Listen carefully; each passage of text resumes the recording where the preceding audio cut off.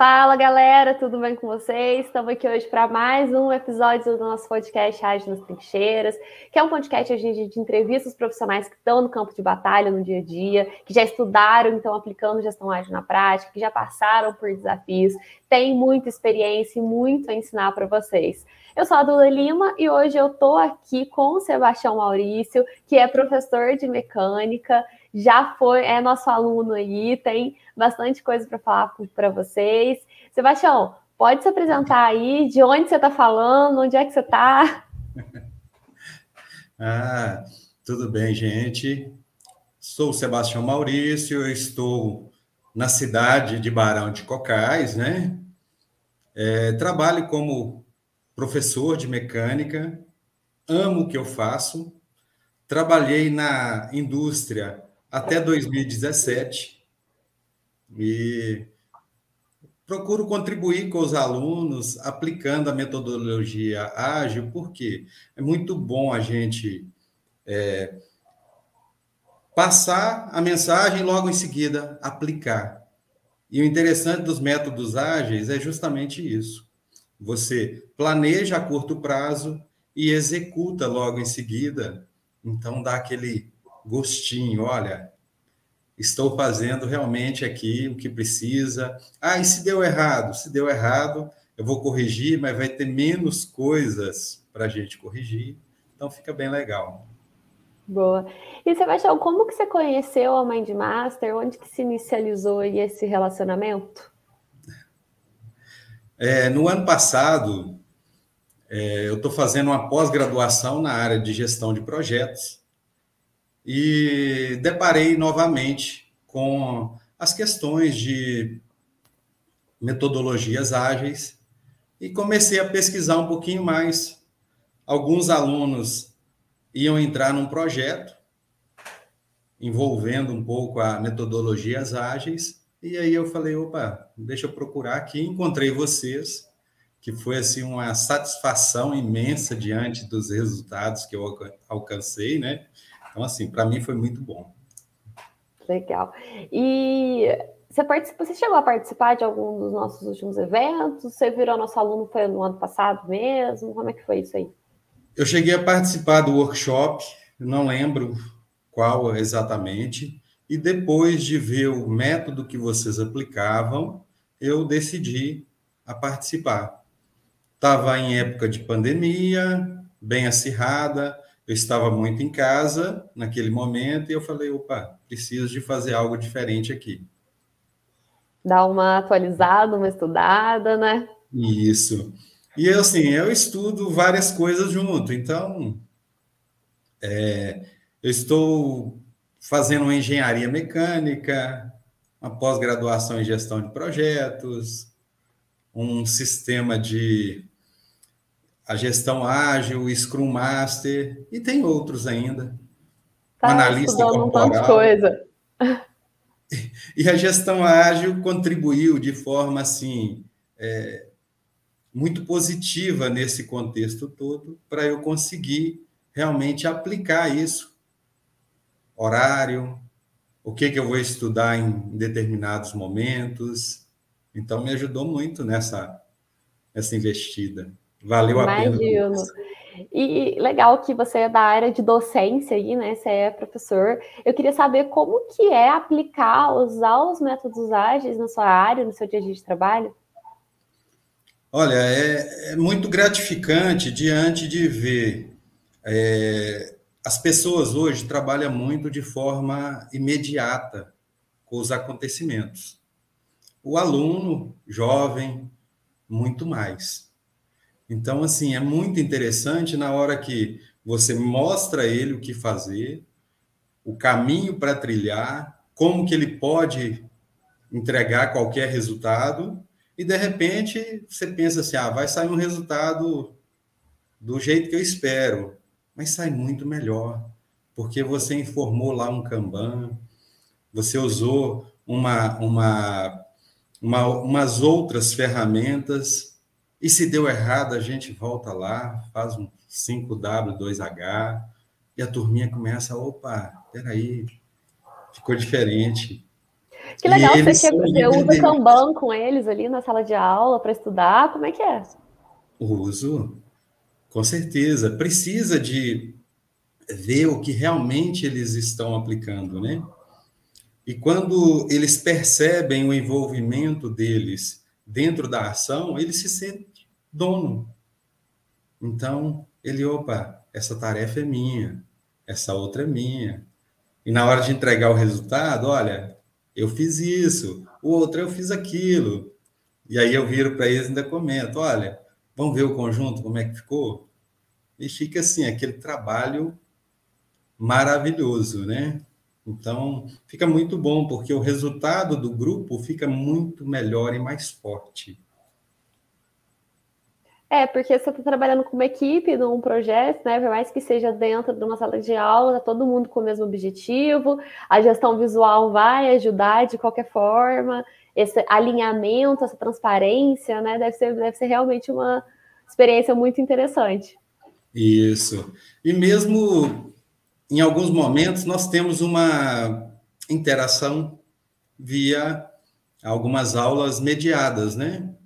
Uhum. E o interessante é o seguinte: temos algumas ferramentas também. O Google mesmo tem várias ferramentas. O Jamboard mesmo trabalha exatamente como se fosse o Kanban, né? Sim. A gente pega os, bem, né? os post-its, né, e coloca na tela e fica muito interessante. Eu gosto de os ver alunos devem adorar, né? ah, eu gosto, eu gosto. Eles também gostam. E eu gosto é, de estar tá sempre... bem mais dinâmico, bem mais, bem mais legal, bem mais fluido ali, né? Isso. Interessante assim, eu gosto, eu trabalho muito na parte de exatas. Uhum. E de vez em quando vem outros desafios para a gente. Recente teve um desafio chamado, é, eu pus para eles lá como trigonometria no dia a dia. É uma delícia, né? A trigonometria, né? Essa eu particularmente aí, gosto um pouquinho. Eu é tenho meu pezinho ali na engenharia também. Então, assim, eu não posso tirar o meu muito da reta, não. Mas assim, fica gostoso porque as coisas ficam mais leves. Na hora que eu pego e começo a mostrá-los como funcionam as coisas, quando olha um quadro de bicicleta e ele vê as formas geométricas e como ele pode calcular aquilo, e se for uma pessoa assim que não gosta tanto dos números, né?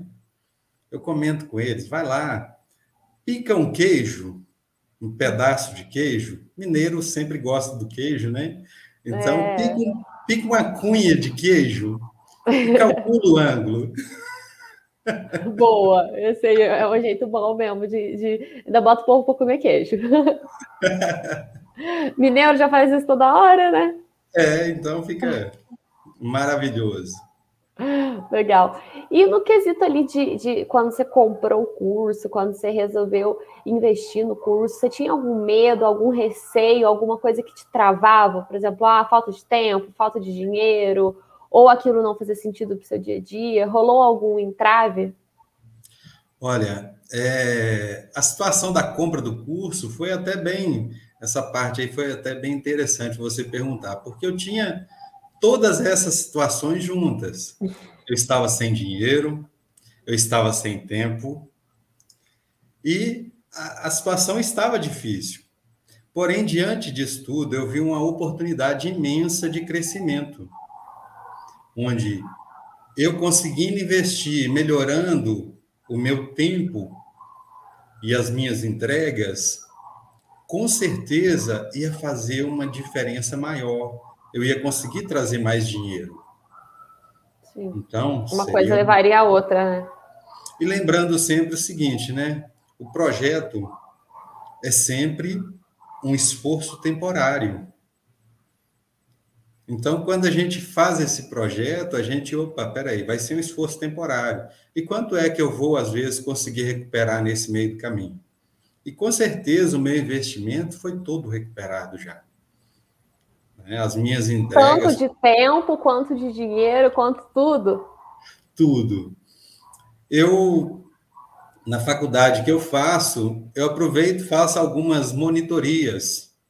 Eu consigo organizar melhor meu tempo. Então, meu custo no curso já reduziu.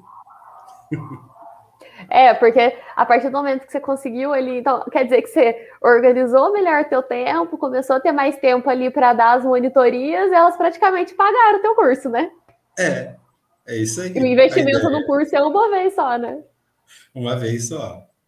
E assim, Legal, esses, esses conteúdos, ele traz também uma riqueza muito grande para a gente na questão também de liderança eu estou em outros cursos também, mas uma coisa que eu percebi dentro do curso é a questão, o lado humano, que muitas uhum. vezes chega a colocar e chega a mostrar para os líderes que é importante eles também tentarem trabalhar dessa forma.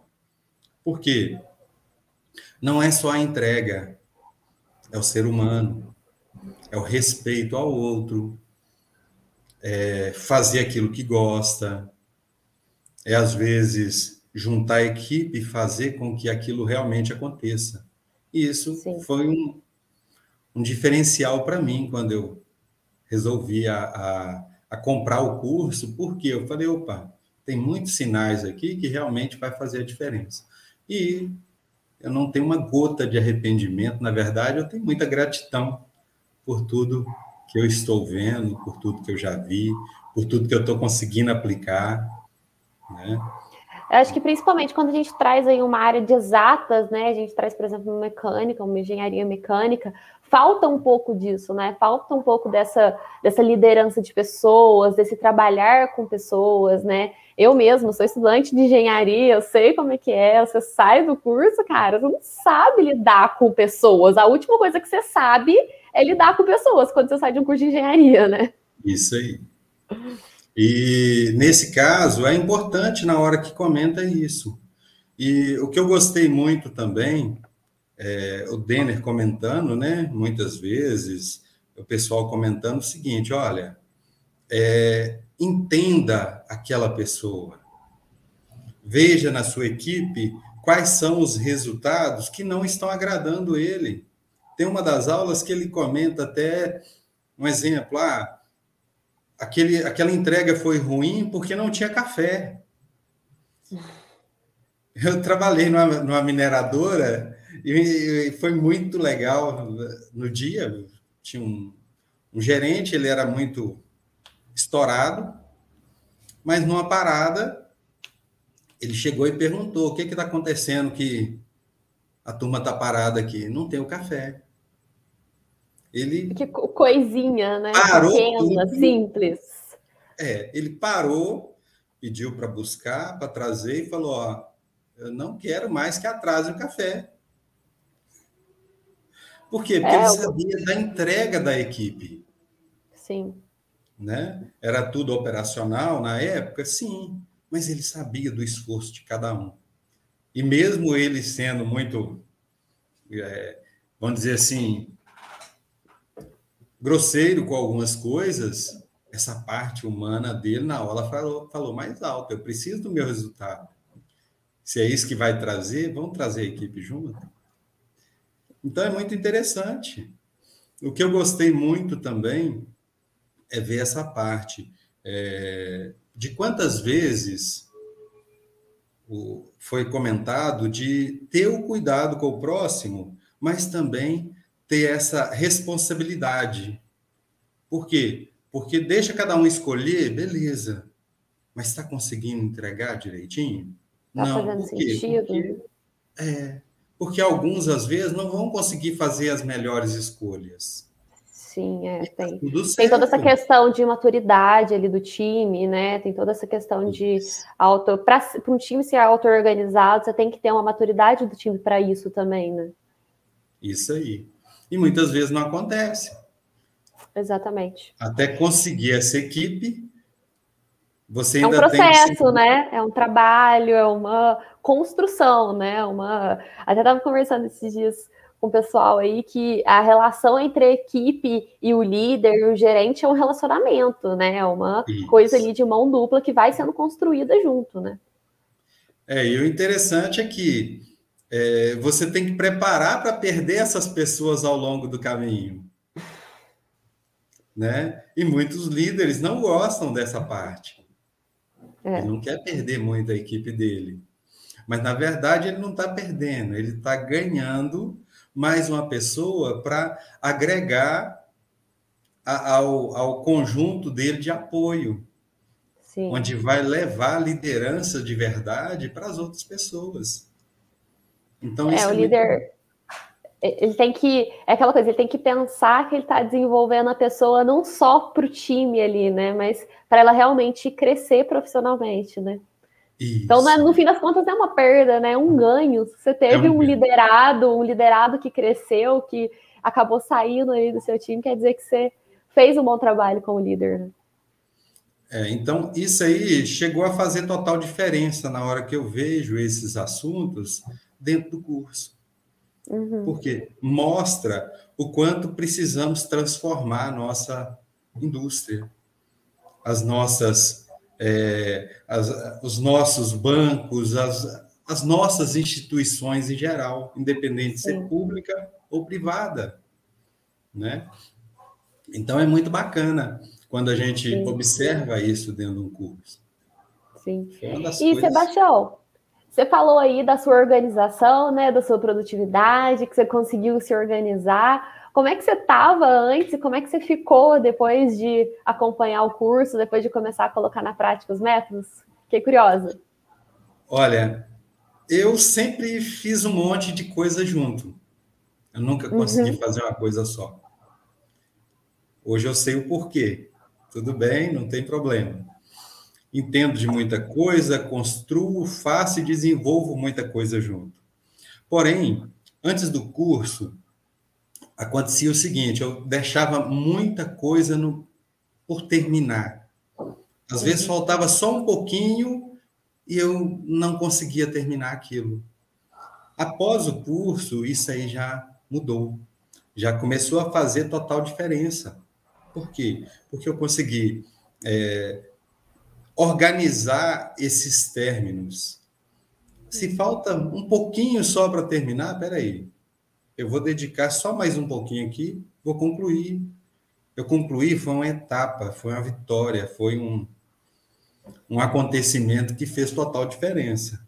Então, assim, comecei a ver mais oportunidade diante das adversidades que vinham. E para mim, foi assim um divisor de águas dentro da minha vida também. Semana passada, semana é, tive aí um, probleminha de de covid, não foi, graças a Deus, não foi grave, mas eu aproveitei o tempo, né? Fiz aí alguns cursos dentro da plataforma da empresa que eu trabalho. Ai, que legal. É, deu lá umas 230 horas. Nossa, você estudou bastante, ué. Por quê? Porque realmente eu estava com disponibilidade para isso. Se eu estivesse é, na empresa, eu estaria fazendo outras entregas. Como não estava, eu falei, opa, eu posso contribuir aqui.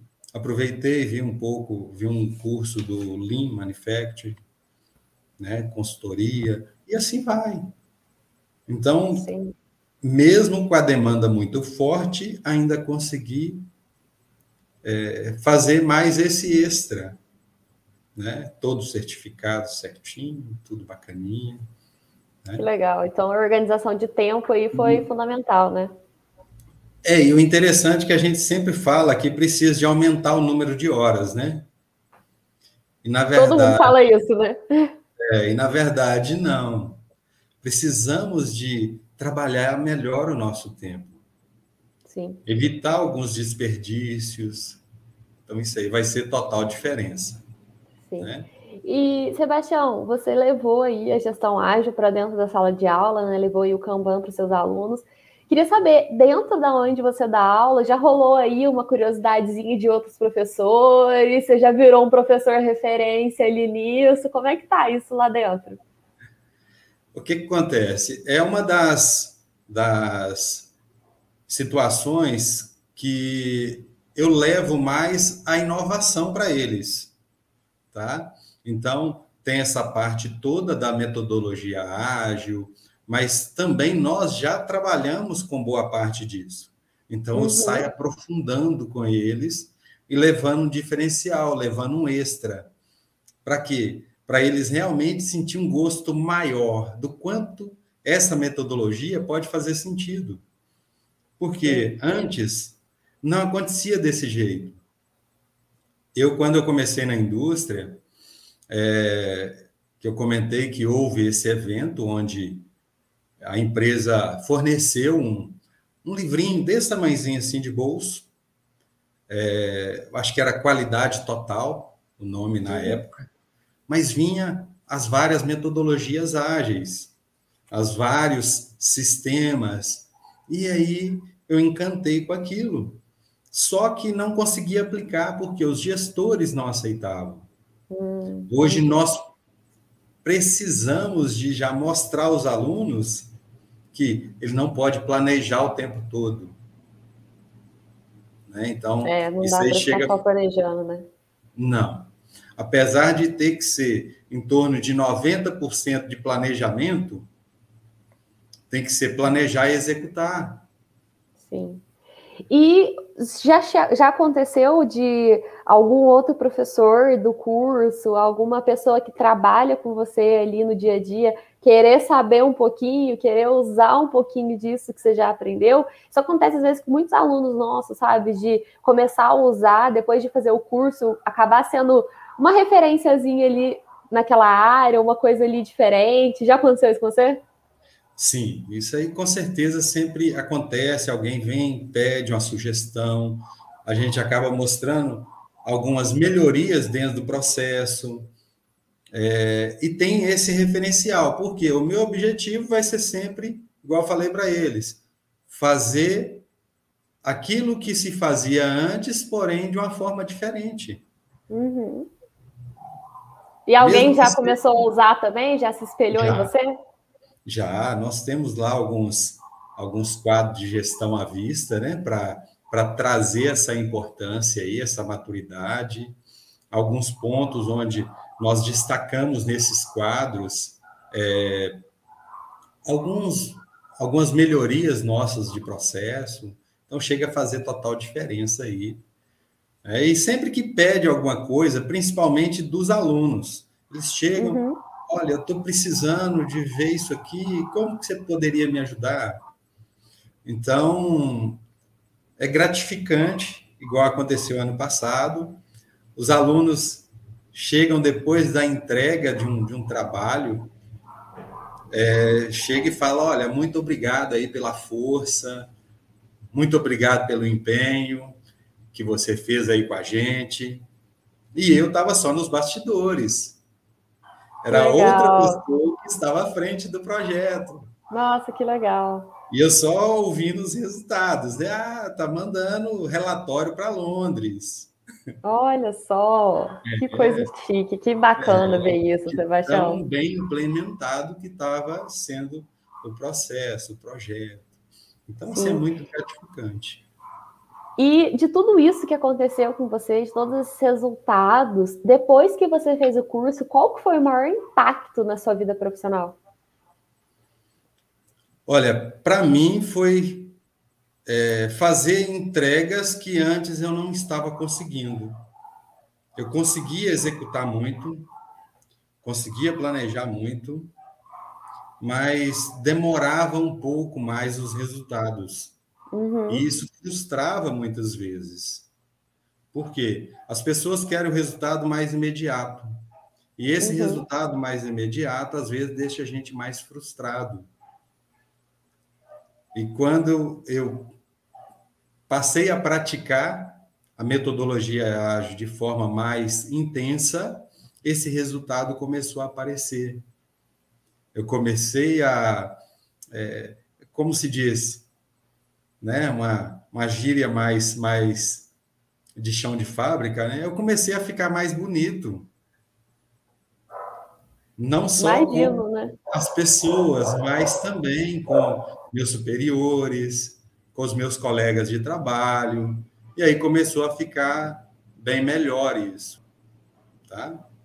já se, destacou ali, né? Começou a as entregas fazerem terem mais valor, né? E aí acaba que o valor seu como profissional também aumenta, né?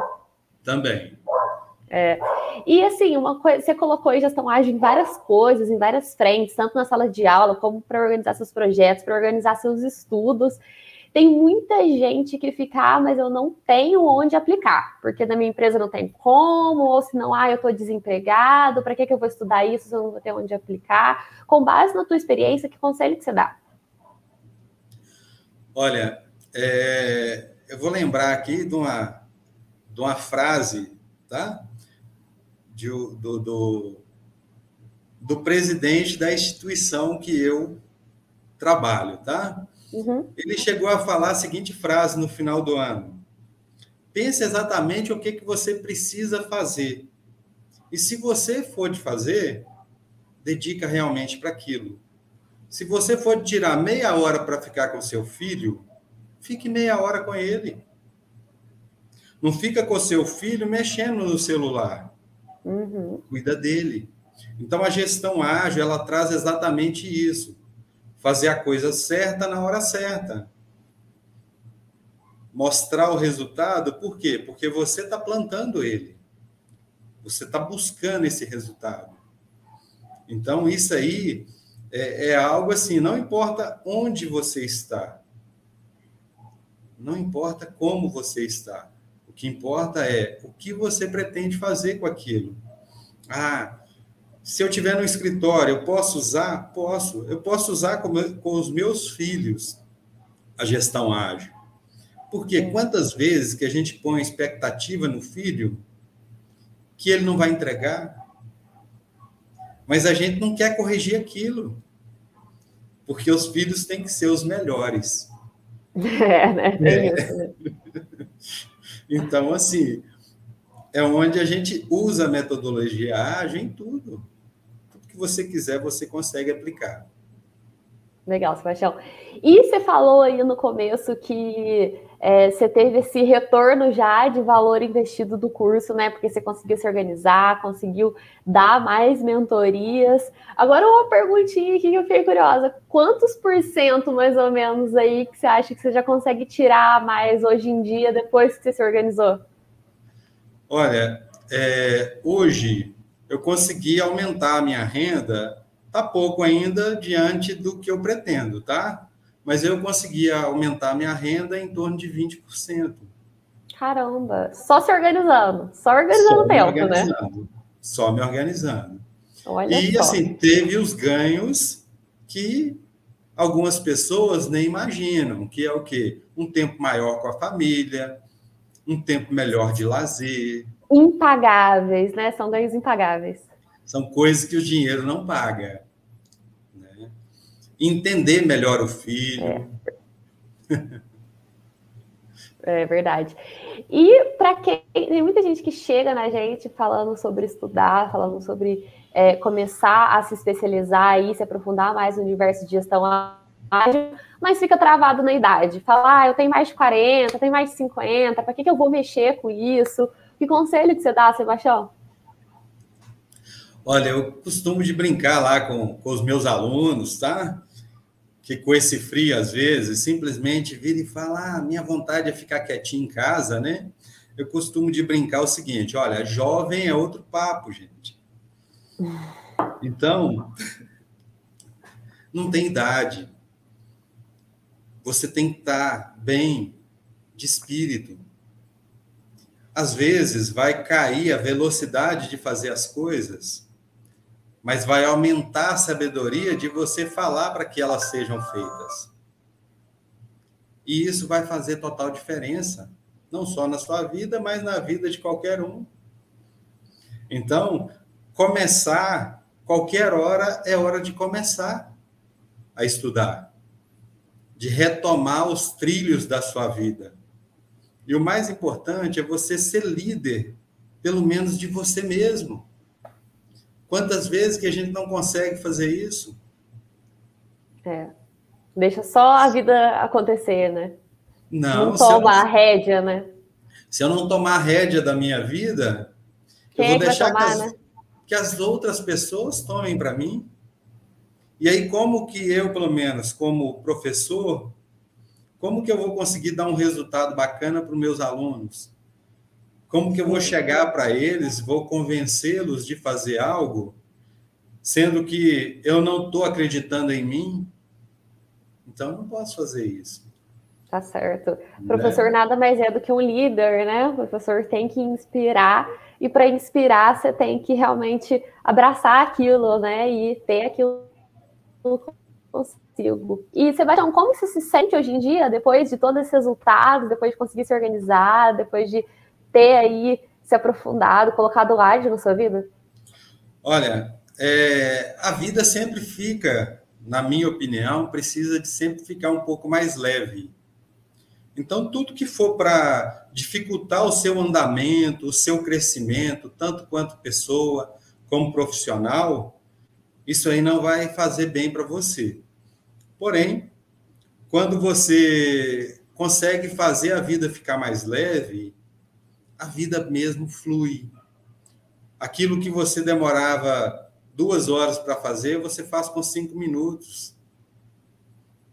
Então acaba fazendo total diferença. Sim. Né? E quais são os próximos desafios a partir de agora? Como que você pretende aí se preparar para eles? Olha, é, eu estou com alguns projetos em andamento, né? Um deles é concluir esses dois cursos que eu também estou neles, que são uhum. a engenharia mecânica, que é um sonho, né? Eu sou tecnólogo em processos gerenciais, mas tenho esse sonho da engenharia mecânica, isso desde quando eu era garoto. E, ao mesmo tempo, concluí também essa pós-graduação em gestão de projetos. Né? Então, a princípio, isso, procurar crescer um pouco mais dentro da, da empresa, Talvez mudar de emprego agora, não sei. Não sei como vai ser aí as próximas oportunidades, né? Desde que surge, eu estou aí. Você está preparado, né? Estou preparado, estou fazendo a minha parte. É, acho que isso é uma coisa muito importante também, né? Quando a gente fala de estudar, de se atualizar, é de estar sempre preparado para novas oportunidades, né? Não existe sorte, não existe as coisas caírem no colo, né? Existe a oportunidade de uma pessoa bem preparada para poder cair nela, né? É, e também, assim, a gente, além de, de, É como a gente costuma falar por aqui, né? O cavalo passa riado. É. E você o vai Denison falou muito isso. E você vai escolher subir ou não. É. Então, assim, e vai ter hora que você não vai poder subir. Por quê? você não está preparado. Você não fez um curso, você não consegue desenvolver equipe, você não está preparado para as mudanças o tempo todo. E a gestão ágil é isso. É chegar, saber exatamente o que, que o cliente quer, e logo em seguida ele vai querer outra coisa e você muda junto com ele. Negocia, faz o melhor para todo mundo. É, é isso mesmo. Para a gente finalizar aqui, Sebastião, quero saber que dica que você dá, que conselho que você dá para quem está começando, para quem está aqui vendo esse podcast, se inspirando em você e querendo começar a trilhar os caminhos da gestão ágil.